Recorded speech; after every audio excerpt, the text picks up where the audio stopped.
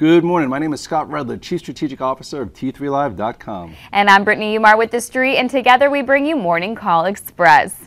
So markets ended their three-day losing streak yesterday, and largely it seems to be on hopes of a fiscal cliff compromise. Scott, what do you attribute it to? I think there's a little bit of everything. Uh, hearing that perhaps that they're raising it to 400,000 versus 250, and before that he said a million. You know, there's just some compromise happening in Washington, which is something that we typically don't see. So it's a, it's a pleasant sign. Besides that, you also have overseas markets rallying. You have a lot of indices going to you know yearly highs, and you also have you know the euro on the move and the dollar declining, which is good for you know for equity. So there's a lot going on here besides the technical action, which has been very constructive. So what levels are you watching in the S&P right now? If we go look at the chart of the S&P right here, you will see that ever since that November 16th reversal, it's been really nice to have a portfolio approach. Here's the reversal, here's your first move, and then we've been methodically going higher. Excuse me. And then more recently, we just held um, after this three-day pullback, the important moving averages, and had a nice powerful move here. So at this point, I think 1438, 1440 is resistance. We get above that really the, the highs of the year might not happen, you know, this year, but 1474 is the next major resistance. And over in the tech sector, Apple's getting more compelling, putting in a reversal yesterday. Do you think the rally we saw yesterday was sustainable? As of right now, it's a nice cash flow trade. We talked about the pivot in Apple yesterday, 505. There's a lot of, everyone was just surrounding that area, not knowing if we break below it and go to 480 or if we go below it, come back above and put that red dog reversal strategy. So far, you know, the Bulls had a minor win yesterday in Apple. You go to the chart, you will see after a huge move from the, you know from 705 all the way down, knocking some teeth out of investors and traders. You know, you finally had your first reversal right here back to 594, and then yesterday 505 was the pivot. And what did it do? Went below to as low as five, what a, a one-ish, and then reversed and closed strong. So that got me long. I'm still long some.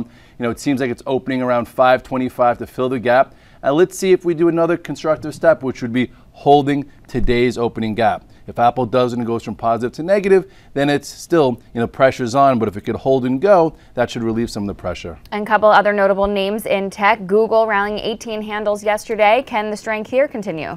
Yeah, this stock broke above what 676 a few weeks ago. That cleared it up. You know, it's been some action that's not the easiest to deal with, but Google sometimes that happens. You look at the chart here and you will see this is when we spoke about it. I don't know what was this a month ago when it went above 676, and then yesterday at highs. Look at Amazon. Amazon actually is probably best in breed. Big move from this 230 level holding higher. I think a lot of my traders might even be watching 255, 256 for additional upside momentum. So there are some, you know, some decent names in high beta land that are acting well.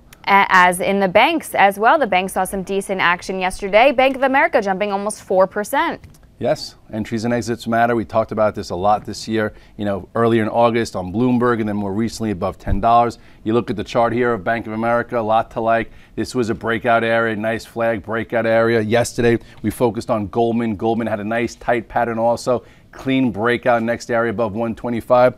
And JP Morgan slowly coming along, acting a little bit better, trying to clear some macro resistance. So the banks, when the banks are in the game and they're giving some strength to the market, it, it, it's always very helpful. Seems there's a lot to like out there right now. Even the home builders seem to be coming back in vogue yeah, they've been quiet, they've been digesting, they've led the market all year. And then finally, yesterday, if you look at the indice of the XHB, which is for the home builders, you will see, you know, still held above all the moving averages. Nice potent move. Here are the highs. Lots of stocks in this indice started to act well. So home builders should be a focus for relative strength as well. Well, of course, we're going to talk about all of this and more in the long version, so stay with us. Hi, I'm Sean Hendelman of T3 Live where we train, coach, and mentor traders in order to help you put your money to work with confidence. The T3 Live approach is a blueprint for you to recognize, adapt, and ultimately take advantage of different market conditions. To begin your training with T3 Live, we would like to offer you the opportunity to enroll in our free 30-day online home study course. Fill in your name and email address, and I'll see you on the other side.